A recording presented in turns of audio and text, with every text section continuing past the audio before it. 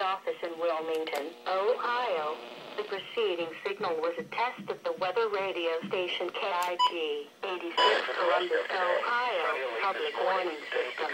During potentially dangerous weather situations, specially built receivers can be automatically activated by the signal to warn of the impending hazard. Tests of the signal and receiver's foot performance are normally conducted by the National Weather Service between 11 a.m. and noon each Wednesday. If there is a threat of severe weather, the test will be postponed to the next available good weather day. Reception of this broadcast, and especially the warning alarm tone, will vary at any given location. This variability, normally more noticeable at greater distances from the transmitter, can occur even though you are using a good quality receiver in good working order. The warning alarm tone will be activated for hazardous watches and warnings for the following counties.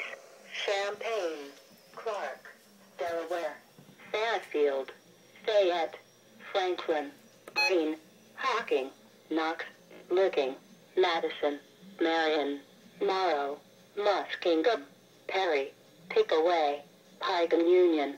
This concludes the weekly test of weather radio station KIG 86 Columbus, Ohio.